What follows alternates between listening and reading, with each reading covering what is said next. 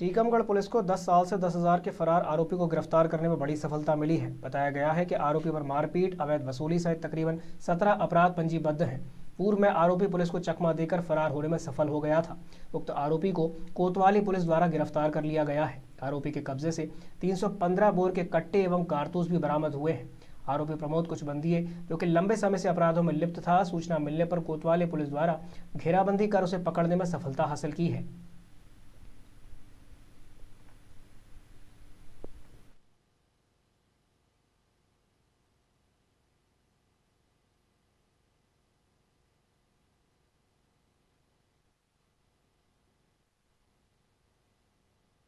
देखिए टीकमगढ़ पुलिस के द्वारा अपराधियों की लगातार धरपकड़ की जा रही है।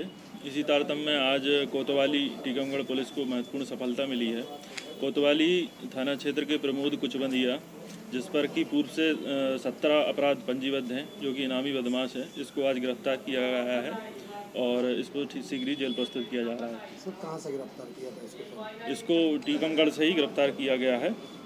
टीकमगढ़ थाना क्षेत्र से।